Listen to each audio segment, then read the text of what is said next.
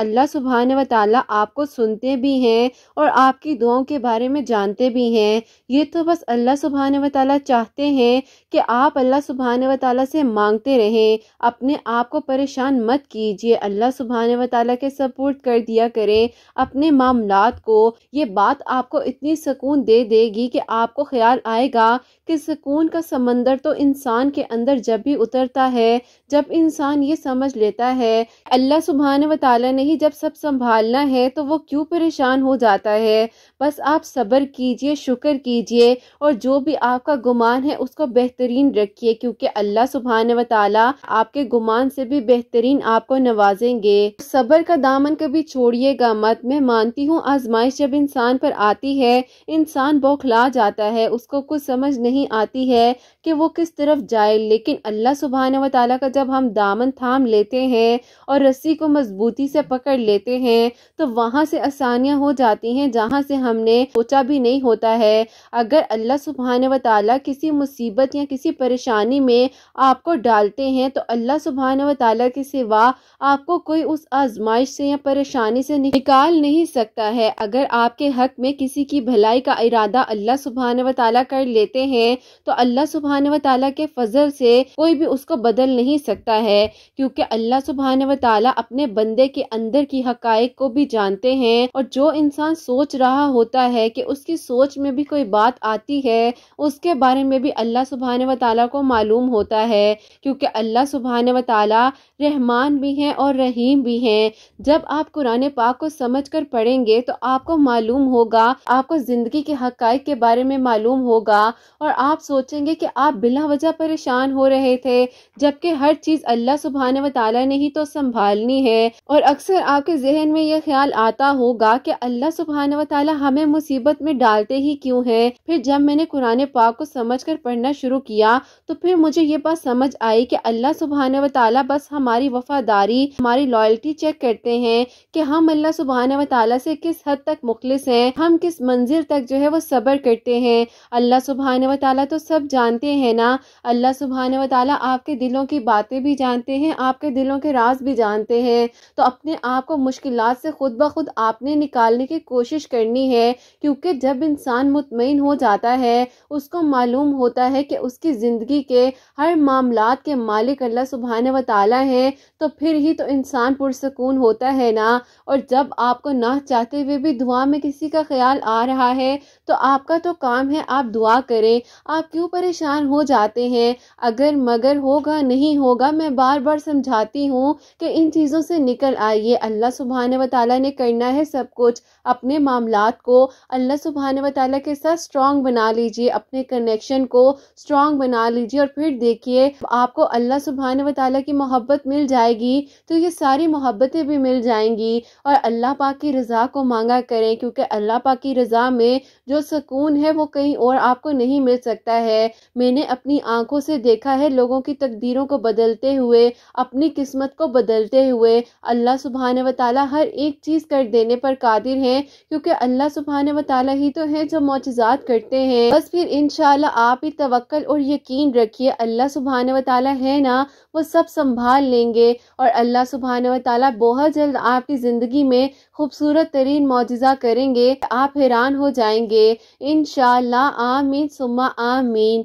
अस्सलाम वालेकुम to another day, welcome to another video. कैसे हैं जी आप सब लोग? अल्लाह ताला आप लोगों को हमेशा खुश रखें और बहुत बहुत ज़्यादा कामयाब हों। आमीन, सुम्मा आमीन। तो मेरी प्यारी, आज बहुत ही प्यारी सी जो मेरे का स्टोरी आप लोग से शेयर करने वाली हूँ, वो है मेरे कल ऑफ़ अल्लाह समत तो मेरी प्यारी, जैसे कि मैं हमेशा अपनी वीडियो को शुरू करने से पहले कहती हूँ कि मैं कोई आलमा नहीं हूँ, कोई स्कॉलर नहीं हूँ, कोई डॉक्टर नहीं हूँ, एक आम से इंसान हूँ, गुनहगार हूँ ख़तकार हूँ, अल्लाह सुबहान व ताली को राज़ी करने की कोशिश कर रही हूँ, आप भी दुआ करें कि अल्लाह सुबहान व ताली मुझसे, आपसे और हम सबसे राज़ी हो जाए। आमीन, सुम्मा आमीन। तो मेरी प्यारी आज का जो क्वेश्चन ऑफ़ द डे है, वो आपके साथ शेयर करना चाहूँगी। और ये मेरी प्यारी बहन लिखती हैं अस्सलाम वालेकुम आप ही प्लीज़ मुझे रिप्लाई दीजिएगा। अभी मुझे किसी ने कुछ दिनों पहले बोला है, मैंने एक जगह पर सुना था कि ज़िद ना करें, अल्लाह से अगर दुआ कबूल नहीं हो रही है, वो अल्लाह सुबहान व ताली की तरफ़ से इशारा होता है कि दुआओं को रोक देना चाहिए। अगर तहजद नमाज़ चीज़ को पाने के लिए पढ़ते हैं, लेकिन आप ही अल्लाह सुबहान व ताली ने तो खुद फरमाया है कि मुझसे मांगो, मैं दूँगा। फिर मुझे लगता है, क्या मैं कोई गुनाह कर रही हूँ? अगर मैं किसी चीज़ को पाने के लिए दुआ कर रही हूँ, और क्या ये ज़िद में शामिल होता है? या तहजद में अगर मैं किसी चीज़ को हासिल करने के लिए उठ जाऊँ तो क्या ये बात जो है गलत है? प्लीज़ ज़रूर बताइएगा। वालेकुम अस्सलाम। अल्लाह ताला आपको खुश रखे, मेरी प्यारी बहन, अपने ईमान में रखें। आमीन, सुम्मा आमीन। मैंने भी आपको ऐसा बोला है। मैं आपको सिर्फ़ ये बात कहना चाहूँगी कि अल्लाह पाक बेहतरीन जानने वाले हैं। आपने बहुत प्यारी बात की है कि अल्लाह पाक खुद फरमाते हैं कि मुझसे मांगो। और देखो मेरी प्यारियों, हमें अल्लाह पाक ने खुद कहा है ना कि हम दुआएँ करें। हम अल्लाह पाक से अपने कनेक्शन को स्ट्रॉन्ग बनाएँ। हम अल्लाह पाक से बातें करें। जहाँ तक बात की तहजद नमाज़ की तो अल्लाह सुबहान व ताली तो नमाज़ तहजद के वक्त में खुद पहले आसमान पर मौजूद होते हैं और अल्लाह सुबहान व ताली फरमाते हैं कि कोई है जो मुझसे मांगे, मैं उसको अता करूँ, मुझसे अपने गुनाहों की माफ़ी मांगे, मैं उसको बख्श दूँ। किस तरह से कह सकता है कि किसी बात की आप जिद कर? रहे हैं देखें, अल्लाह पाक को तो पता है ना कि अगर कोई इंसान बार बार एक चीज़ को मांग रहा है, वो अल्लाह पाक की तोफीक से ही मांग रहा है, वरना देखिए, इतने सारे लोग होते हैं तहजद के वक्त में, काफ़ी लोग सोए भी होते हैं। एक टाइम पर ज़िंदगी का ऐसा वक्त भी था जब हमें भी नहीं मालूम था तहजद नमाज़ के बारे में कि मेरी प्यारी, हर टाइम होता है ज़िंदगी का। जब अल्लाह पाक ने हुक्म देना होता है, जब मेरे ऊपर भी परेशानियाँ मुश्किल आई तो मैं सबसे पहले अल्लाह पाक के पास गई ना। मैं आप लोगों के साथ पूरी अपनी सिचुएशन को शेयर करूँगी कि तहजद नमाज़ ने मुझे किस तरीके से जोड़ा है। मेरी प्यारियों, यकीन करो कि मैं इतनी दुआएँ करती थी, इतनी दुआएँ करती थी कि मुझे लगता था कि बस ये दुआ नहीं मुझे संभाला हुआ है और ये दुआ से सब कुछ होगा और दुआओं ने ही मेरे कल किया और दुआओं ने ही सब कुछ करवाया। अल्लाह पाक से, मेरी प्यारियों, देखो, अल्लाह पाक का हुक्म है कि हम अल्लाह पाक से मांगे और अल्लाह पाक से ना मांगना यहाँ पर हमें सोचना चाहिए कि हमसे ऐसी कौन सी गलती हुई है कि हम नहीं मांग रहे हैं। प्यारियों, बहुत बड़ी अपॉर्चुनिटी है। देखो, एक बात है ना, आपको मैं एग्ज़ाम्पल देती हूँ। जैसे हम आजकल के दौर में हमारे बच्चे जो है गेम्स खेल रहे होते हैं। अब मैं आपको अपने बच्चे के मुताबिक चीज़ बताऊँगी। आप लोग अपने मुताबिक इस बात को समझ लेना। अब जैसे कि हसनैन है, कोई गेम खेल रहे होते हैं, वो मुझे राउंड से अच्छे अच्छे स्कोर करके जल्दी से विनर होना है तो मैं कहती हूँ, नैनू बेटा अच्छा ठीक है, कोशिश करते हैं विन होने की ना। तो उसमें क्या वर्ड आता है? कोशिश का वर्ड आता है ना? फिर आहिस्ते आहिस्ते जब हम लोग कोशिश कर रहे होते हैं, फिर हम अपने लेवल को जो है इंक्रीज कर लेते हैं। हम फोर लेवल से फाइव लेवल तक जाते हैं ना, ऐसा होता है ना? तो दुआ भी मेरी प्यारियों हमारी कोशिश है, बाकी करना अल्लाह पाक ने है सब कुछ। और अल्लाह पाक ने हो सकता है कि आपकी तकदीर में ये लिखा है कि आप दुआ करें तो वो फिर आपको मिले, चीज़ मांग रही हैं। और मेरी प्यारियों अल्लाह पाक ने कहीं पर भी कोई स्पेसिफिक कंडीशन हमें नहीं बताई है कि आपने ये वाली दुआ करनी है और ये वाली दुआ नहीं करनी है। इस चीज़ को मांगना है और इस चीज़ को नहीं मांगना। है अल्लाह सुबहान व ताली कहते हैं कि तुम मुझसे मांगो। Whatever kind of your thing जो भी आपको चीज़ चाहिए, जो भी एनी काइंड ऑफ़ थिंग आपने अल्लाह पाक से ही मांगना है। और अल्लाह पाक का दामन जो है ना, वो मजबूती से पकड़ ले, इस रस्सी को कभी छोड़ना नहीं है। क्योंकि मेरी प्यारियों, आप लोगों को मैं कहूँगी कि जो दुआ में सुकून है ना, और जो अल्लाह पाक से बात करने में सुकून है और जो तहजद के वक्त में अल्लाह पाक से बात करने में सुकून है, उसकी फिर मैं आप लोगों को क्या तारीफ़ बयान करूँ? और मेरी प्यारियों, किसी के कहने पर ना दुआ को कभी मत छोड़ें। मैं आप लोगों को बार बार कहूँगी, चाहे कोई भी आपको कह रहा है, ये जिद है, इसको रोक दें, इसी में अल्लाह की रजा है। अल्लाह की रजा ये भी तो हो सकती है कि आप दुआ करें। अल्लाह पाक ने चाहे तो आप दुआ कर रही हैं ना? अल्लाह पाक ने आपको तौफीक दी है, वरना एक बात होती है, हम अगर सो रहे हैं तो हम सोते भी रह सकते हैं। हमारी फजर भी जो है वो कज़ा हो जाती है ना, लेकिन अल्लाह पाक का हुक्म आता है, यकीन करो जैसे ही फजर की अजानें होनी होती हैं, हमारी आँख खुल जाती है, या अचानक से हम सो रहे होते हैं सोते सोते तकरीबन ढाई बजे के करीब हमारी आँख क्यों खुलती है? अल्लाह पाक की कॉल आती है ना, वो डायरेक्ट कॉल आती है कि भाई आ जाओ मेरे पास, मैं तुम्हारा इंतज़ार कर रहा हूँ। तो मेरी प्यारी ये बड़ी प्यारी बात होती है कि आप अल्लाह पाक से मांगो और अल्लाह पाक से तो मेरी प्यारी लाड से, प्यार से, मोहब्बत से और जिस मर्ज़ी तरीके से अपनी बात को अल्लाह पाक तक पहुँचाओ। और अल्लाह पाक को मालूम है, आपकी बात से पहले भी अल्लाह पाक को मालूम है कि आप क्या चाह रही हो, आपको क्या चाहिए। कौन सी ऐसी चीज़ है जो आपको यहाँ तक ले आई है? मेरी प्यारियों हम कम अज़ कम टूट कर अल्लाह के पास तो जाते जाते हैं ना, हम इधर उधर तो नहीं भटकते, हम अल्लाह के पास जाते हैं तो इससे खूबसूरत क्या बात है? कोई बात नहीं है। और जो ऐसा कहते हैं कि भाई जिद है, जिद नहीं करो, दुआ को नहीं करो, दुआ को रोक दो, ऐसा नहीं करना है। हमने अल्लाह पाक से मांगते रहना है ज़िंदगी की आखिरी सांसों तक। जब तक अल्लाह पाक का हुक्म है, हम मांगते रहेंगे। और मेरी प्यारी जिस दिन हम नहीं मांगेंगे ना दिन हमारे लिए हो सकता है कि हमारे लिए थिंक अबाउट वाली सिचुएशन हो, कि हमें उस बारे में सोचना पड़ेगा कि ऐसा क्या है जो आज हम दुआ नहीं मांग रहे हैं।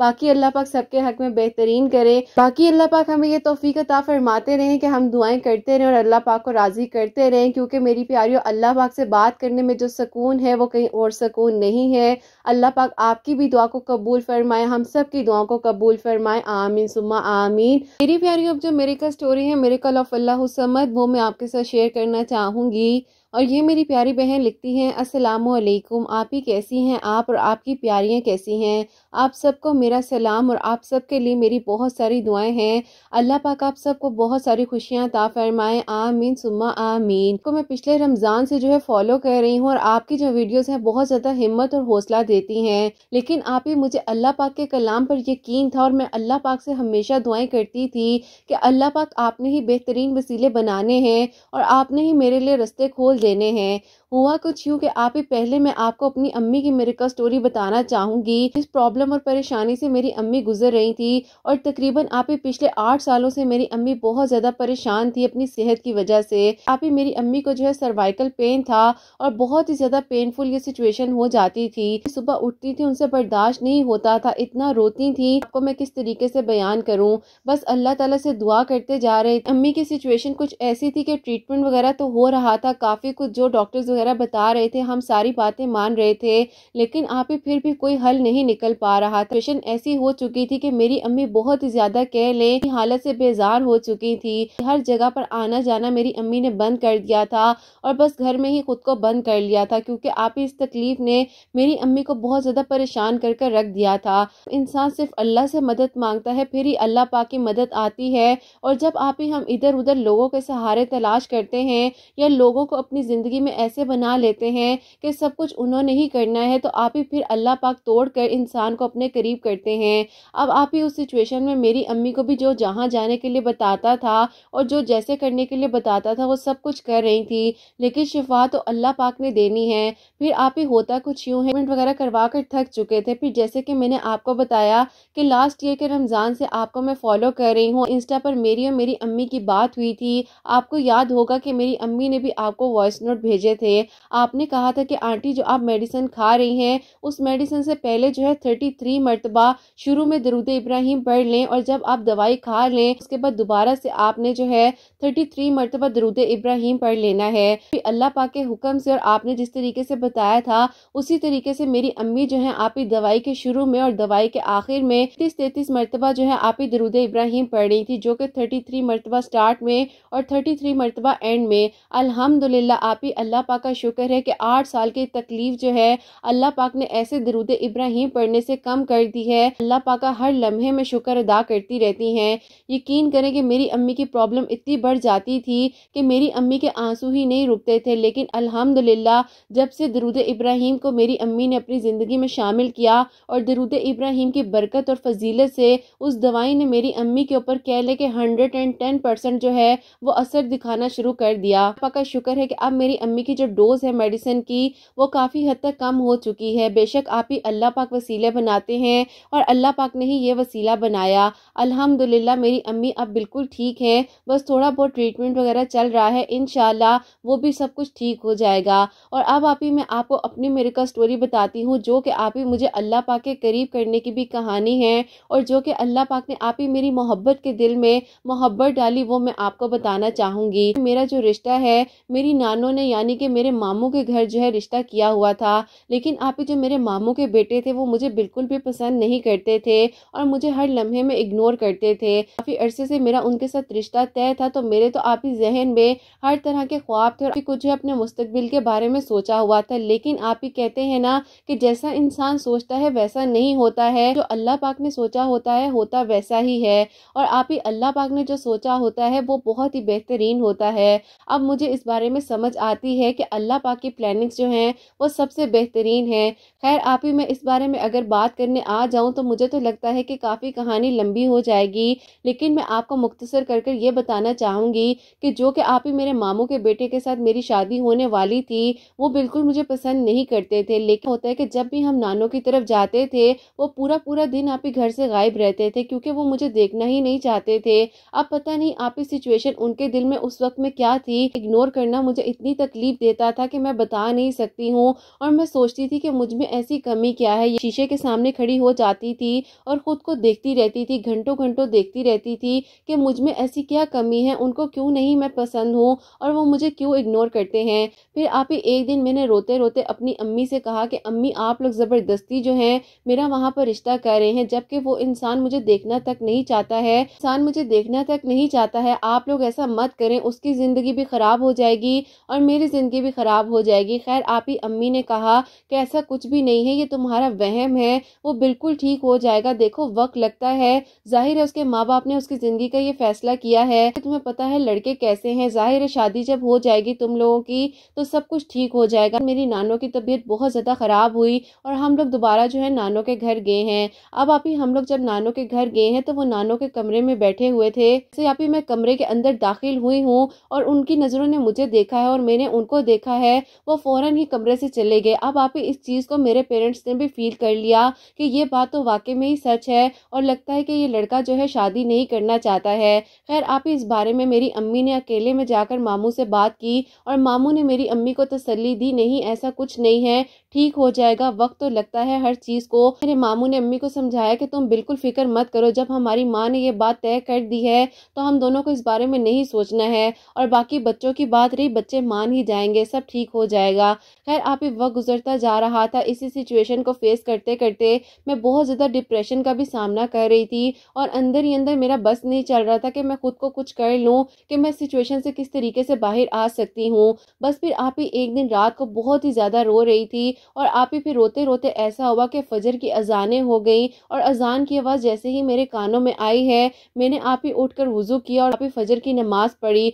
और मैं इतना ज़्यादा आप ही सुन्नत और फ़र्ज़ के दरमियान में रोई हूँ कि मैं आपको क्या बताऊँ। मेरी कैफियत ऐसी थी कि समझ नहीं आ रहा था कि अब क्या होगा। मैंने अल्लाह पाक से उस वक्त में ये दुआ की। मैंने कहा, अल्लाह पाक, आप तो उस इंसान के दिल को नरम कर सकते हैं। मुझमें क्या कमी है? वो एक बार मुझसे बात तो करे। वो तो मुझसे बात तक नहीं करता और अल्लाह पाक ये लोग मेरी ज़िंदगी का फैसला करने जा रहे हैं। आगे सब कुछ क्या होगा? जो इंसान मुझे पसंद ही नहीं करता है तो उसके दिल में आप मेरी मोहब्बत डाल दें। आप तो सब कुछ कर सकते हैं। बस फिर आप ही कहते हैं ना कि जब इंसान की तड़प और शिद्दत इतनी बढ़ जाती है तो अल्लाह पाक की तरफ़ से मौजात होते हैं। कि ऐसा होता है कि जो मेरी खाला है, उनकी बेटी की शादी थी और वो लोग कार्ड लेकर अगले दिन हमारे घर आते हैं। उनकी जो छोटी बेटी है, जो कि मेरी खाला की छोटी बेटी है, वो भी उनके साथ आई थी और आप ही माशाल्लाह से वो बहुत ही ज़्यादा जो है अल्लाह पाक के करीब भी है और आप ही उसने जो है हमेशा कह लें कि हम जितनी भी यंग लड़कियाँ हैं, उनको हमेशा अच्छी ही बात सिखाई है। लेकिन आप ही मैं ऐसे क्यों बोलूँ, मैंने कभी भी उससे सही तरीके से बात नहीं की थी।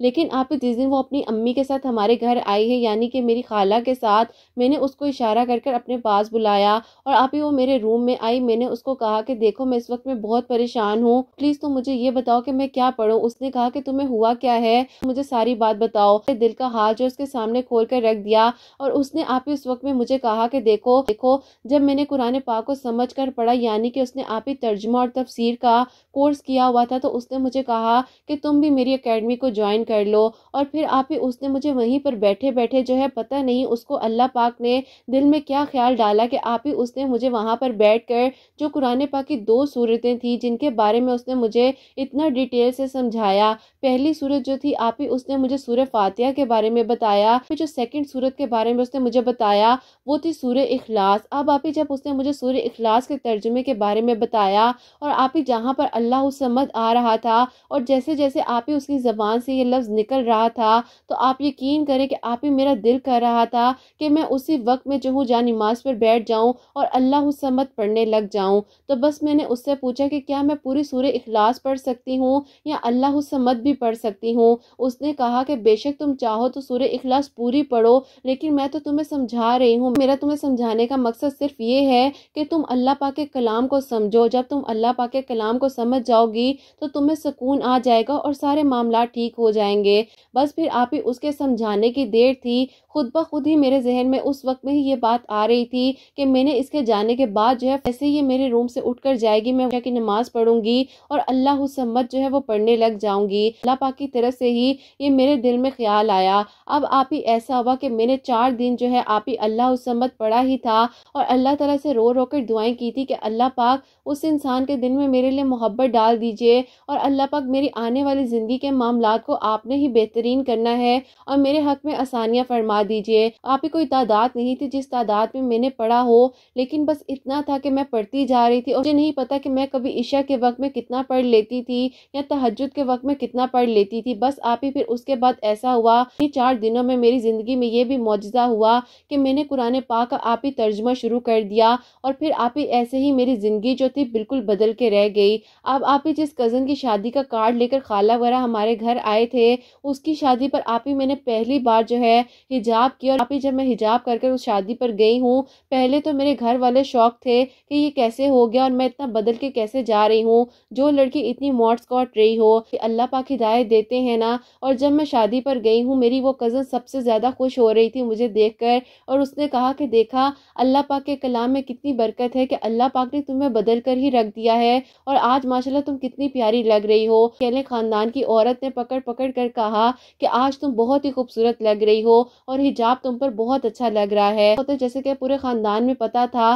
कि मेरी शादी जो है मामू के बेटे के साथ होने ही वाली है। तो आप इसलिए जो है सब लोगों ने कहना शुरू कर दिया कि तुम दोनों एक टेबल पर बैठ जाओ और बैठ कर खाना खाओ। अब आप ही ज़ाहिर है वो तो मुझे देखना तक गवारा नहीं समझते थे। लेकिन आप ही उस दिन जब उन्होंने मुझे देखा था, मुझे कुछ ना कुछ उनकी आँखों में तो महसूस हुआ था और आप ही वो मुझे देखकर उस जगह से हटे नहीं थे। मेरे लिए ये भी एक कह ले हिंट थी कि मुझे लग रहा था कि शायद इनके दिल को अल्लाह पाक ने नरम किया है। अब आप ही ऐसा होता है कि हम लोग उसी टेबल पर बैठ कर दोनों खाना खा रहे थे और आप ही मेरी प्लेट में जो है मेरे आँसू गिर रहे थे। अब आप ही पहली बार जो है उन्होंने रिश्ता तय होने के बाद मुझसे बात की। अब आप ही उन्होंने मुझे हँसते हुए कहा कि आपको क्या हुआ है? आपने क्यों रोना शुरू कर दिया है? क्या मैंने आपकी प्लेट से चम्मच ले ली है खाने के लिए? बस फिर आप ही इस बात को सुनने के बाद यकीन करें, मेरा तो बस नहीं चल रहा था कि मैं घर आऊँ और मैं अल्लाह पाक से शुक्राने के सजदे को अदा करूँ। अल्हम्दुलिल्लाह, आप ही अल्लाह पाक ने चार दिन में मेरी ज़िंदगी में ये मुआजा किया कि मेरी ज़िंदगी बदल के रह गई। जब मैंने अल्लाह की राह को चुन लिया तो अल्लाह पाक ने आप ही मुझे वो सब कुछ अता कर दिया जो मैंने चाहा था। अल्लाह पाक ने उनके दिल को ऐसा नरम किया, आप ही जो डाउट्स है वो क्लियर हो गए, क्योंकि आप ही जो मेरी पर्सनैलिटी पहले थी, वो बिल्कुल ऑपोजिट थी, जो कि उनको नहीं पसंद थी। और आप ही अल्लाह पाक ने मुझे इस तरीके से बदल दिया कि जो इंसान चाहता था, बिल्कुल वैसी हो जाऊँ। अल्लाह पाक ने मुझे वैसा बना दिया और यकीन करें, ये बहुत ही खूबसूरत मुआजा है कि अल्लाह पाक ने उनकी किसी एक नेकी के वसीले से मुझे आप ही हिदायत दे दी और मैंने अपने सर को कवर करना शुरू कर दिया और प्रॉपरली हिजाब और अबाया पहनना शुरू कर दिया। बस आप ही, अल्हम्दुलिल्लाह, आज अल्लाह पाक का शुक्र और करम है कि वो मेरे महरम है और मैं उनकी महरम हूँ। मेरी मोहब्बत के दिल में मेरी मोहब्बत डाल दी। अल्हम्दुलिल्लाह नानों का जो ख्वाब था, हम दोनों की शादी हो जाए। अल्हम्दुलिल्लाह, अल्लाह पाक का शुक्र है। अल्लाह पाक का शुक्र है कि मेरी नानों का ये ख्वाब भी पूरा हो गया है। फिर आप ही ये खूबसूरत मौजात हुए हैं हमारी ज़िंदगी में। इसीलिए आज आपको अपनी मेरिकल स्टोरी भेज रही हूँ कि आप अपनी प्यारी बहनों को बताइएगा कि हिम्मत मत हारे। अल्लाह पाक की मदद आती है और अल्लाह पाक ज़रूर साथ देते हैं। बेशक अल्लाह पाक ने उस लम्हे में मेरा साथ दिया। मेरी कज़न का वसीला मेरे लिए बना और कुरान पाक को समझ कर पढ़ने की तोफ़ी अल्लाह पाक ने मुझे अता फरमाई। अल्लाह समत पढ़ने की अल्लाह पाक ने मुझे तोफ़ी अता फरमाई। अल्हम्दुलिल्लाह, अल्लाह पाक का मैं बहुत बहुत बहुत शुक्र अदा करती हूँ। बस फिर आप ही उन्होंने मुझे बताया कि देखो जैसी तुम पहले थी ना, मुझे तुम बिल्कुल पसंद नहीं थी। और बस मैं चाहता था कि अल्लाह पाक मेरी ज़िंदगी में कोई ऐसी लड़की आए जो कि बा पर्दा हो और अपना ख्याल भी रखे। मैं तुम्हें कभी बदलना नहीं चाहता था। बस यही चाहता था कि अल्लाह पाक अगर यही मेरे नसीब में है तो इसको आप बदल दें। बस आप ही अब देखें कि वहाँ पर वो मेरे लिए क्या दुआ मांग रहे थे और यहाँ पर मैं किस सिचुएशन में थी। अल्लाह पाक ने उनकी दुआ को भी सुना और मेरी दुआ को भी सुन लिया। और आप इस सोचते हुए तो ये मौजूदा ऐसे लगता है जैसे कि एक ख्वाब है, लेकिन यकीन करें ये ख्वाब ने जो है मुझे बिल्कुल बदल कर रख दिया और जिस तकलीफ़ से मैं गुजरी हूँ और जिस परेशानी को मैंने फेस किया है मेरे अल्लाह पाक ही जानते हैं। अल्हम्दुलिल्लाह, अल्लाह पाक ने जैसे मेरी ज़िंदगी में प्यारा सा मुआजा किया है। अल्लाह पाक आपकी प्यारियों के लिए और जो लोग आपको सुनते हैं, उनके लिए भी मोजात हों और जिन जिन का नाम आप अपनी दुआओं में शामिल करती हैं, उन सब के लिए खूबसूरत मोजात हों। मेरी दिल से दुआ है मुझे इंतज़ार है कि आप कब मेरी और मेरी अम्मी की मेरिकल स्टोरी शेयर करेंगी। सकता है कोई भी परेशान हो, उसको हिम्मत मिल जाए और हौसला मिल जाए। अल्लाह पाक बेशक वसीले बनाते हैं और कभी भी किसी को अकेला नहीं छोड़ते हैं। अल्लाह पाक ने दरूद इब्राहिम और अल्लाह सम्मत के जो दो प्यारे मोजात किए हैं, वो मैंने आपके साथ शेयर किए हैं। बस आप दुआ कीजिएगा कि अल्लाह पाक आगे के भी ज़िंदगी के मामला जो हैं, वो खुशहाली के साथ गुजार दें और अल्लाह पाक बहुत सारी खुशियाँ सबको अता फरमाए। आमीन, सुम्मा आमीन। सुबहान अल्लाह सुबहान अल्लाह जजाकल्ला मेरी बहन, बहुत बहुत शुक्रिया। आपने इतनी प्यारी मेरिकल स्टोरी जो है, हम तक पहुंचाई है। अल्लाह पाक आपको बेहतरीन अजरता फरमाए। और मेरी प्यारियों, देखो कितना प्यारा मुआजा है। वहाँ पे एक इंसान किसी के लिए क्या दुआ मांग रहा है? और यहाँ पर ये किसी के लिए क्या दुआ मांग रही है? और बेशक मेरी प्यारियों, जो अल्लाह पाक ने नसीब में लिखा है ना, वो मिलकर ही रहता है। अल्लाह पाक से अल्लाह पाक की रज़ा को मांगो और अल्लाह पाक से हिदायत मांगो। अल्लाह पाक से सकून मांगो और अल्लाह पाक की रज़ा को मांगो और दुआएँ मांगते रहो। बस दुआ करनी, कभी ना छोड़ो। अल्लाह पाक बेशक दिलों की बातें, दिलों के राज जानते हैं तो आप लोग भी अपनी ज़िंदगी में जो है दरुद इब्राहिम को शामिल कीजिए। अल्लाह समत पढ़िए और कुरान पाक को समझ कर पढ़िए, शुरू से पढ़िए, पाँच वक्त की नमाज़ पढ़िए तहजद पढ़िए और फिर देखिए आपकी ज़िंदगी जो है किस तरीके से संवर जाती है और बदल जाती है। अल्हम्दुलिल्लाह अल्लाह पाक सब पर अपना ख़ास करम फरमाएँ और मेरी दिल से दुआ होती है। अल्लाह सुबहान व ताली जो जो लोग मुझे सुनते हैं, जो बहनें, जो भाई मुझे सुनते हैं, उन सब के लिए मोजात करें। अल्लाह सुबहान व ताली सबके दिलों की दुआओं को कबूल और मंजूर फरमाएँ और जो पेरेंट्स मुझे दुआओं के लिए कहते हैं, उनके दिलों की दुआओं को भी अल्लाह पाक कबूल फरमाएँ और जो बहनें मुझे औलाद की दुआ के लिए कहती हैं, अल्लाह सुबहान व ताली उन्हें नेक और सवाल फरमा, बरदार औलाद अता फरमाएँ और जिनकी औलाद अल्लाह सुबहान व ताली उनकी औलाद को नेक और फरमा बरदार बनाए, हसनैन को भी नेक और फरमा बरदार बनाए, एहसास करने वाला बनाए, अल्लाह सुबहान व सब बीमारों को शिफा अता फरमाए, सबके घरों के रिस्क में बरकत अता फरमाए, रहमत, बरकत, फजीलत नाजिल फरमाए, अल्लाह सुबहान व ताली हम सबसे राज़ी हो जाए, कोई गलती कोताही हो गई हो तो अल्लाह सुबहान व ताली मुझे माफ़ फरमाए, आमीन, सुम्मा, आमीन। मेरी प्यारी, अपना बहुत बहुत सारा ख्याल रखें, हसनैन और मुझे अपनी दुआ में याद रखिएगा, हमेशा हंसती मुस्कुराती रहें। अपने लिए भी अच्छा सोचें, दूसरों के लिए भी अच्छा सोचें। यहीं पे आज की वीडियो को एंड करना चाहूँगी। अल्लाह हाफिज़।